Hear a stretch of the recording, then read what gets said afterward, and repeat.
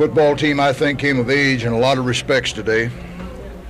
And certainly the win with Mark Richt at quarterback uh, marks the beginning of a new phase of our football here at the University of Miami.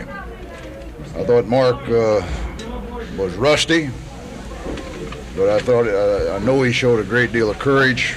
He hung in there and uh, never got down on himself and threw it in there in the final analysis when it counted.